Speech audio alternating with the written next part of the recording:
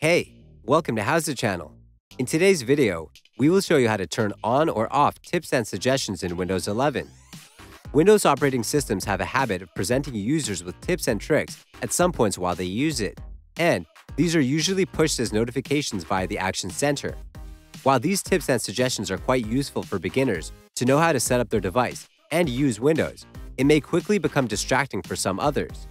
Whatever the category you are included in, it's a good idea to turn off Windows 11 tips and suggestions so that it will no longer be a distraction for you.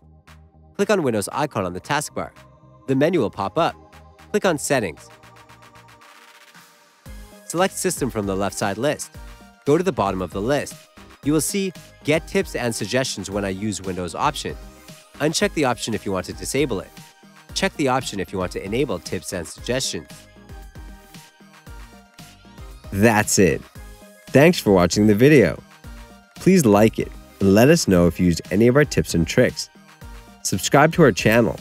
We upload new tutorials every day. See ya!